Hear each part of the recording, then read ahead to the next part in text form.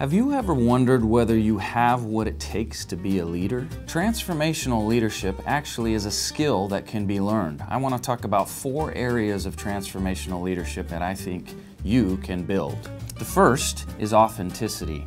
Effective leaders, the most effective leaders, bring their true self to work and interaction with other people. Second, inspiration. They see the future and they create the future. Third, empathy. Empathy is the skill to be able to put yourself in someone else's shoes. Number four, innovation.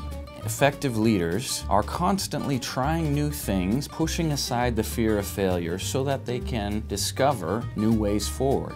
These four aspects of transformational leadership authenticity, inspiration, empathy, and innovation are skills that you can build to become a better leader.